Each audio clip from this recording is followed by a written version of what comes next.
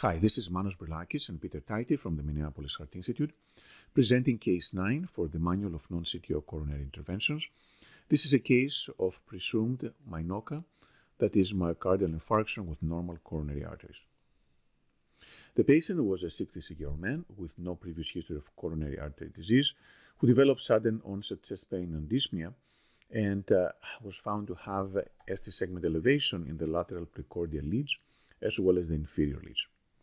Therefore, the cath lab was activated and the patient underwent emergent coronary angiography. To our surprise, we did not find any occlusion. He did have TIMI3 flow down the LAD as well as in the circumflex. On different views, there was again no area of significant stenosis and there remained TIMI3 flow down the LAD as well as the circumflex. And uh, looking at the spider view, there was TIMI3 flow in the LAD there was maybe some diffuse disease in the diagonal branch, but no significant obstructive lesion. We then went to the right coronary artery with a guide, just because we presumed that the patient would likely have a culprit in the right coronary, but once again, there was no significant angiographic stenosis. What is the next step? One option is to declare this as myocardial infarction with normal coronary arteries and do no further investigation. But the patient did have pretty typical symptoms and EKG findings. Therefore, we were wondering whether there was some lesion that maybe angiographically was not readily apparent. We therefore performed optical coherence tomography. We wired the right coronary artery and then uh, did a run which did not demonstrate any area of ulceration, any thrombus, or any potential culprit lesion. We then went back to the LAD and this time we did find in the mid LAD an area of ulceration with thrombus and a thin cap fibroatheroma.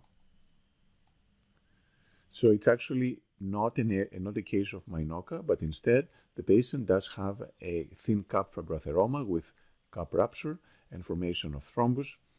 And this corresponds to this area that retrospectively does look a little ulcerated and hazy. But of course, before it was hard to call that before we had the information from optical coherence tomography fairly discrete plaque, and there remains some area of um, fibroatheroma further down in the same vessel. Once again, we now look at the images retrospectively. That area may appear suspect, but of course, it is always easier to call things retroactively than proactively.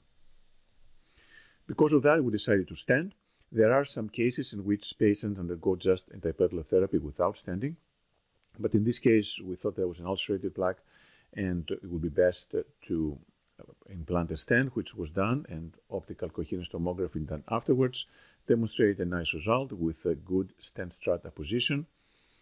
There was good stent expansion, as expected, given the lack of calcification.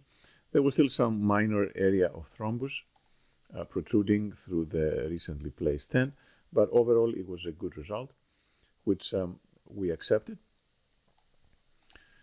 And um, uh, the patient had a nice um, um, recovery. Retrospectively, there was an area of staining distally that most likely was due to distal embolization and staining of the thrombus with a contrast. But in the end, the patient had an uneventful recovery with a nice final angiographic result. So the main lesson from this case is that in patients who with presumed ST segment elevation myocardial infarction, before declare them as having MINOCA if, they, if the angiogram does not show any obvious culprit lesions, it may be best to perform intravascular imaging, ideally with optical coherence tomography that has the highest sensitivity for intracoronary thrombus, and look for things like distal staining that could be due to distal thrombus embolization. And although medical therapy can be considered for some of those patients who have TIMI3 flow at baseline, in the presence of an ulcerated plaque, placing a stent is probably the safest option. Thank you.